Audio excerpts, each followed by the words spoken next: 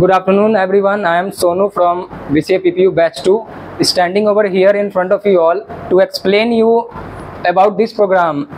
Uh, if I talk about this program, this program is about uh, how to print uh, the sum, the difference, the product, and the average of two numbers uh, given by the user. So we have to accomplish this task uh, using function in QBasic. This program is in QBasic. So in order to create a function in Q, QBasic, we first of all we declare the function using the declare keyword followed by the followed by another keyword that is function and then the name of the function and after the name of the function we mention the parameter parameter. Here a and b are the parameters.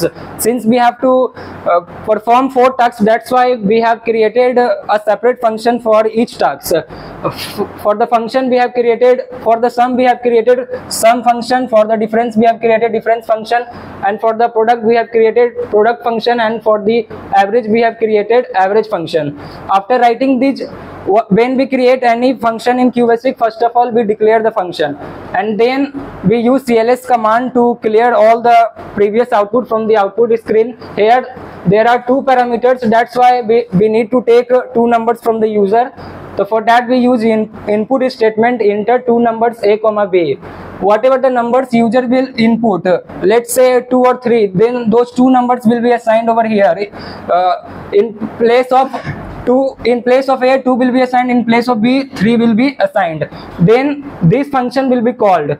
So whatever the instructions written inside that function will be executed. That's why after printing the function we write instructions for that function so that when it will be called by the com- compiler or interpreter instruction written inside that function will be run. Similarly for difference product and the average.